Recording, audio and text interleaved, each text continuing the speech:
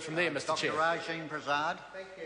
Thank you, Mr. Chairman. Just continuing from my last call where I was rudely curtailed my call and I didn't get a second one.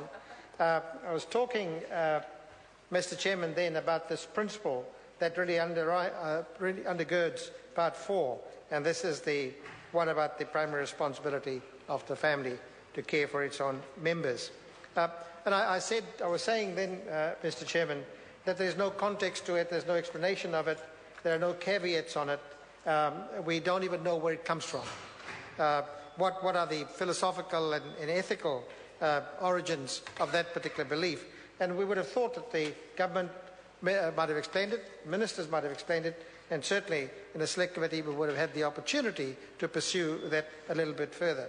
Uh, so, so it's the, but when that principle is applied in this way to the disability sector, we get the impression that it shows very little awareness of what family members actually go through to care for their seriously disabled people, uh, disabled members. And, and often, Mr. Chairman, families are the only ones who are committed philosophically and, and, and uh, because of, of familial relationships, committed to that person and that situation for, for a lifetime. And, and they stay there day in and day out, providing enormous support. And members of this, uh, of the House in, in debating this bill have, have given examples from their own family situation of, of, of such cases. So, but this, this, this particular clause, uh, 70A, and what emerges from it shows very little awareness of that. Uh, and I don't know what the, what the government is worried about. You know, it's not as if we'll now go and produce a whole lot more people with disabilities. I mean, these are situations that have occurred, and all that society is doing is responding to that. Uh, so, so the principle then potentially uh, does travesty to our own responsibilities as a society to, to our most vulnerable. And somehow uh, the, the, the, the, government has weaseled out of this particular one. Uh, and, and on, on, the basis of figures, on the basis of what it will cost. And while we, there, there has been discussion about unmanageable physical costs, what are those unmanageable fiscal costs? Because the figures we have seen are not unmanageable. The government is of a mind to provide, hopefully, uh, uh, we believe in the next budget, a billion dollars in tax cuts from uh, uh in ACC cuts. But that's manageable. But somehow, for the most vulnerable, it's their family's responsibility, and the provisions of Part 4 really stand in the way. And, and, and it actually does show, Mr. Chairman, the mean spirited nature of these provisions. Perhaps the select committee process would have brought people out to actually argue those particular uh, implications of the provisions of Part 4.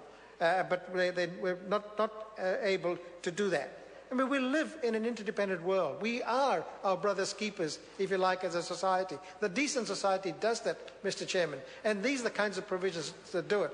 And the costs are manageable. The numbers are not enormous. No matter how long it's taken, no matter what the history is, this is something we, we ought to be doing.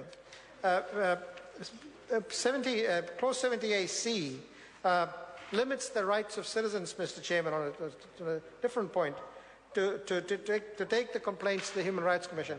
And that right is taken away.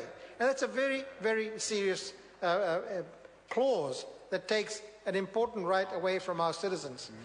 But of course, all of that would be obviated, Mr. Chairman, if indeed we did provide the kind of care that our most vulnerable required. If we did that, then there would be no need to take their rights away, their rights to go somewhere to the Human Rights Commission. So again, here we are. We have a problem, uh, and uh, the, the solution it actually is seriously flawed. And again, the provisions of Part, part 4 are, are, uh, are uh, ones that, that, concern us quite a bit. I want to talk a little bit about Clause 70B2, Mr. Chairman. Um, and, and perhaps there is something quite monocultural about these particular provisions when we talk about the family and we talk about family responsibilities.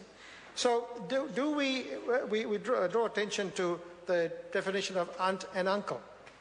So who is an aunt and who is an uncle? Because they will be prevented. Or the minister looks, rolls his eyes, but the minister will, I, I hope, take a call, explain the question I'm about to ask him. So in, in, a, in a Western European context, that's easy to define. But in an Indian context, it's not. In a Chinese context, it's not. So what, and and even in a Maori context, it's not. Mr. Chairman, Scott, Mr. Chairman, Mr. Chairman. Mr Chair, I move the question be now put. I'm going to hear from Louisa Wall. Thank you very much, Mr Chair. Um, I was just